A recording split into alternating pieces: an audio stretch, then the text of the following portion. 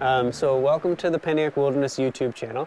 Um, on today's video, I'm going to go through sort of my approach to solar power solutions at the cabin, and I'll take you through what I started out doing, uh, and then I'll focus on the kind of the next transition in my solar power solutions, and then in a next video down the road, we're going to go through what I'm actually doing now at the cabin. Um, a bit of a disclaimer, I am not an electrician, I don't know a whole lot about this topic, and the way I was doing it and am doing it may not be the best way, but it is the way I've been doing it, and hopefully um, what I've learned along the way will be helpful to anyone watching this. In this part of the video, I'm going to show how I started out taking energy from the sun through a solar panel um, and storing it into a deep cycle battery. Um, so this is a fairly simple process. So in order to convert the solar energy into stored energy, I'm using a charge controller. Uh, the charge controller has uh, an input from the solar panel and an output to the battery. So I'm going to connect the solar panel to the solar panel portion of the charge controller. And then using these alligator clips, I'm going to connect the battery portion of the charge controller to the battery red on positive, black on negative. And if you look closely at this charge controller, most charge controllers have something approximating this. Um, there's two lights, one's for charged and one's for charging. And uh, we're kind of in bright sun right now, but if you come over top here, you can see that the charging light is lit up. Um, so this very basic setup will allow solar energy from the sun to be stored in a deep cycle battery, uh, which then can be used to power um, certain electronics. So this was my most basic setup. Uh, the next thing I added into this was a second solar panel. I got one as a Christmas present. And so by adding another solar panel, it allows you to charge your uh, power bank or your battery quicker. Um, so in order to uh, add in the second solar panel, I bought this solar hub uh, at a store called Canadian Tire in Canada. And what this allows you to do is connect up to seven different solar panels into one device. And then this device connects to your charge controller and then your charge controller to your battery. I'll take my original solar panel, I'll plug it in to the charge controller, or sorry, to the solar hub. And take my new solar panel, plug it in to the other side. So now I have two solar panels coming into this solar hub. The solar hub has certain limitations, so it has a maximum amperage of 30 amps and a maximum wattage of 450 watts. My solar panels are 40 watt and 100 watt respectively. So next, now that I have input coming into this hub, I will take my charge controller, plug it in to the output of the solar hub, and then the charge controller, I connect to these alligator clips, which are connected to the battery. And now I have more energy charging the battery up until a certain maximum, uh, which is what this charge controller will allow into the battery at a given time. Okay, so now I'm going to show how to, or I've already shown how to convert solar energy into stored energy in the battery. Now I'm going to show how to take this battery and convert it into usable energy for charging a battery or an electronic device. Um, for this video I'm using a, a, deep cycle battery, a fairly small one. Um, and I often use a larger deep cycle battery with the typical two uh, terminals on the top like a car battery. So in order to convert this energy into usable energy, uh, the first thing I started using was this uh, inverter.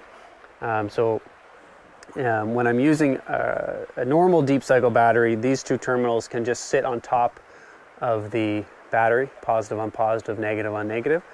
Um, for today, because I don't have uh, the typical deep cycle battery, I'm going to connect this battery to the inverter using a pair of jumper cables, positive from the jumper cable on positive to the inverter, negative to negative,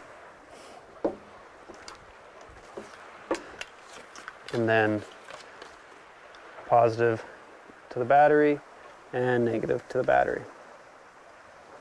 So Now that should be giving power to the inverter and you'll see the display light up. That'll give an indication of how charged the battery is. It should be around 13 volts, I believe, um, and it's reading 13. So that shows that I'm live and able to power a device. So for this example, I'm just going to show charging one of my drill batteries.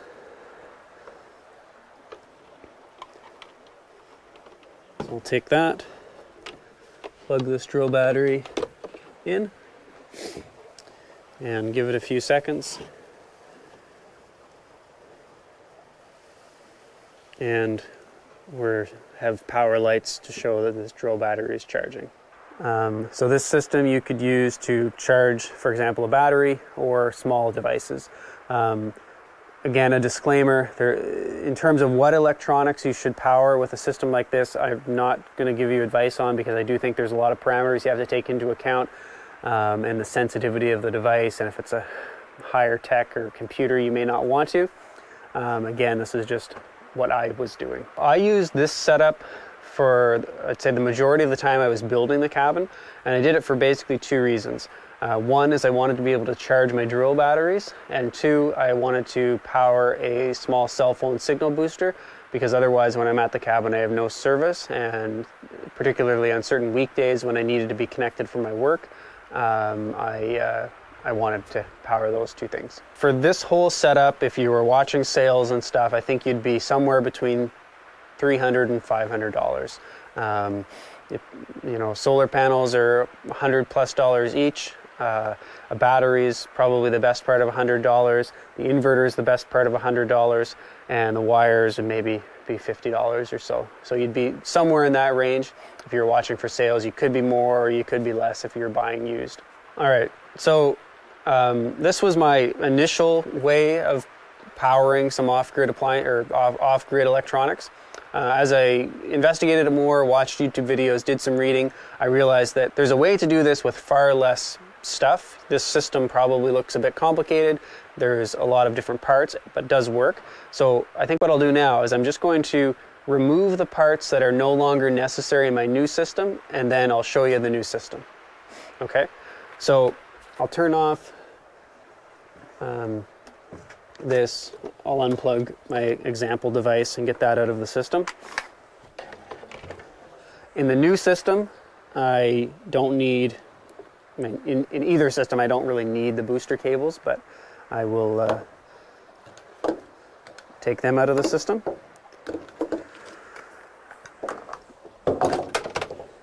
In the new system, I don't need this inverter. In the new system, I don't need a charge controller, or I don't need this charge controller. So in my new system, I also don't need this battery. Um, so now I'll go through kind of the second level of off-grid power solutions that I've used at the cabin. Um, the second level is not what I'm currently using primarily. Uh, what I'm currently using primarily I'm going to feature in a new video. Um, but now I'm going to show you uh, sort of the second level of off-grid power. Um, so what I purchased um, online was a, a Jackery power bank. Jackery is one of the companies that produce off-grid power solutions. I have no relationship with Jackery. Uh, this would be one of their probably middle of the road power banks in terms of capacity and, and functionality. So with this, it replaces the inverter, it replaces the charge controller, and it's a battery as well. So it's all of those things in one. So I'm just going to show how to connect this to the solar panels I have and show you how that works in terms of uh, um, storing energy. The commonalities between the first system and the second system is I still have two solar panels, I still have this solar hub. The difference is this cable. So what this cable is, it's two parts. Um, polarity reverser, so that's part one. And part two is a cable that um, converts an SAE connection to an 8 millimeter connection. So SAE is what my solar panels are, and 8 millimeter is what the Jackery requires for input. So I'll show you how that works. So I'm going to connect the polarity reverser to the cable. I'm going to connect the cable to the solar hub.